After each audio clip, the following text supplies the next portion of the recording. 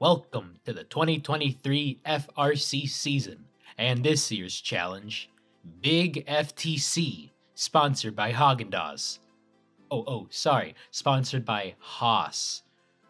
The robots find themselves in the remains of First City after the meteor shower decimated the region in 2020.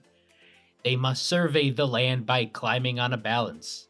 A little more there, buddy. There you go. Robots start in their own zone and can have a cone to mark findings, or a sample that will go back for further examination. More cones mark the dig site of the first city ruins. In the first 15 seconds, robots can roll a d6 to determine enemy damage, or place cones that they don't need. They could also completely mess up the neat and tidy cones, so we don't know where the dig site is. Now they gotta do the surveying over again. It's the whole process. The floor level has spots for more d6 rolling, or for robots to make Toy Story references. For the remainder of the match, the human drivers control the robots, I'm putting human in quotes here because they all look so stiff. I mean, you could make the animations more lively. Like, this lot looks like they got better things to do, like they don't want to be here. They're just making a mess that the robots gotta clean up, and you know, the robots ain't too pleased with that.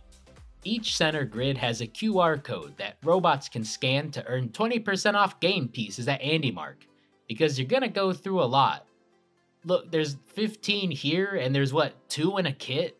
And you know those cubes aren't gonna last that long, they seem really poppable.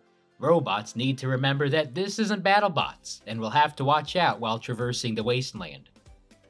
At the end of the match, robots can take a break on the platform, making sure that they stay balanced. Oh shoot, can they? Oh geez, flashbacks to Archimedes 2012. The alliance with the most points wins.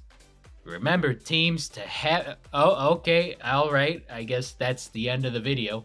Um, remember to have fun, stay safe, and remember gracious in victory, professional in defeat.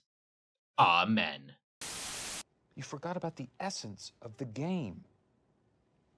It's about the cones.